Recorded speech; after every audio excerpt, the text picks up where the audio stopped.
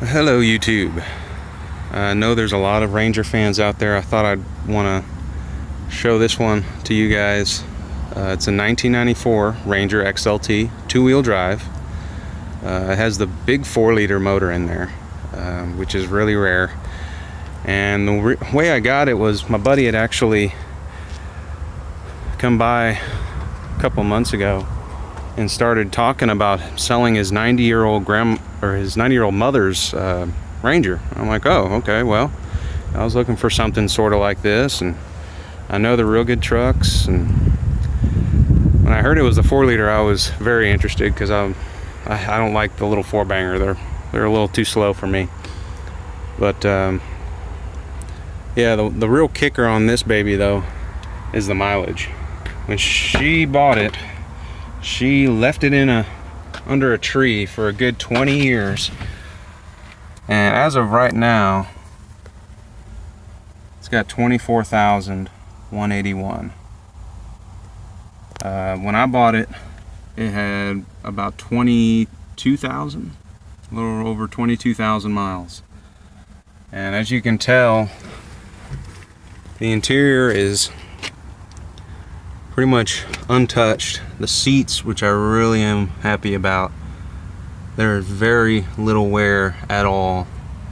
And that's because the guy had a like uh, seat covers made by his mother and they fit right over the seats and for 20 years they were on there and um, I need to do a vacuum on it but as you can see the original floor mats it's an automatic of course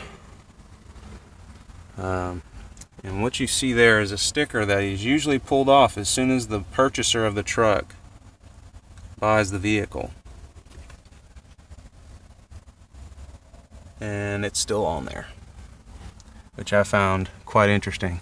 And this here is the dash cover that I believe he bought when he purchased the truck for his mom at the dealer in 1994. And I've yet to take it off just because I don't really want to mess with it. But I'm sure if I did, the uh, the dash would be in perfect condition. And there's the back.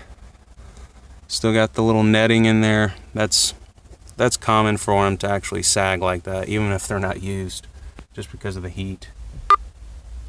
There's little jumper seats.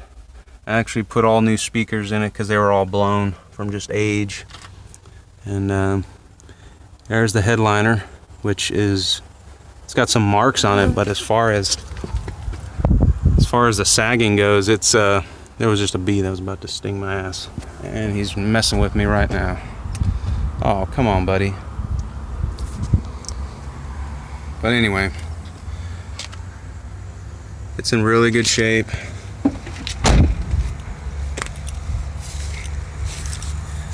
I had to put new tires on it because the tires that were on there were 13 years old and uh, it's got Futura Super Sports on there. It's a 225 70 14. These are 14 inch rims, which are really hard to find nowadays. Uh, really hard to find the tires. I actually found them at Pep Boys, believe it or not. Found two at one shop and then two more at another. And uh, as far as the the paint goes, it's it's in perfect condition, near perfect especially compared to any other Rangers this year. You just don't find them with this low mileage. And, uh, well, yeah, even has a little mud flaps and the chrome tip muff flaps on there.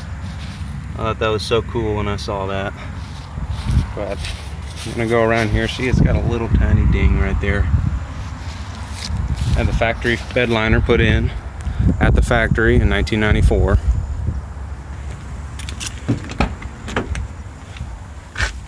I'll go ahead and just start up just for kicks.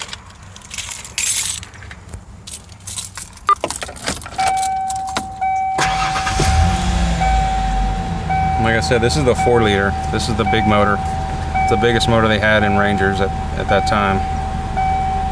And uh, and it still has the original tape deck, which I've yet to replace just because it works just fine. But uh, I may put a, a a CD player with auxiliary just because the speakers don't really put out as much as they could. But uh, yeah, this is the original dealer tag.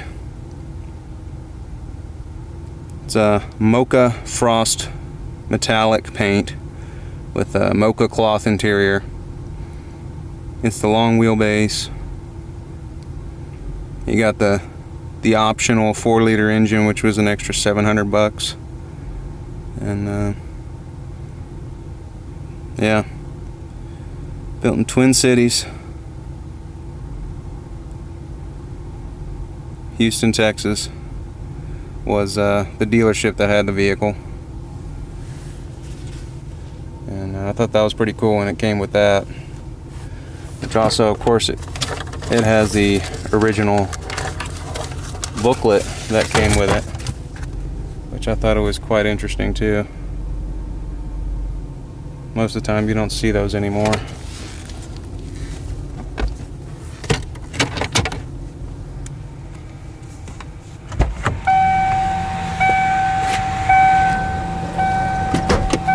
I'm gonna just show the engine real quick.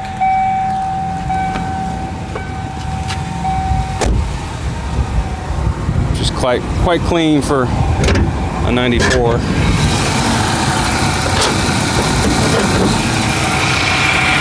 had to put new plugs and wires in there because you know, 20 year old plugs and wires, you don't want to deal with that. Uh, I did a headlight restore on the headlights because they're all yellowy and cloudy just like most Rangers that this year. Even sitting under a tree, it's, you know, it wears it out. But as of right now, no leaks at all, no rear main seal leaks, anything like that. Um, it actually had a fuel leak at the time from the fuel filler neck, even though it was rarely ever used. I had to put a new new filler neck. Uh, had to take the bed off to get to it and took care of that. And the uh, vacuum modulator for the transmission had to be replaced because it was sucking transmission fluid into the intake. But uh, other than that, it's it runs great. It has it's like a bat out of hell. It'll roast the back tires easy just from a standstill. Very rare on a Ranger. So I hope you guys liked it, and let me know what you think. Have any things I should add to it, or I'll just leave it alone. I feel just kind of like leaving it alone. Thanks for watching. Y'all take care.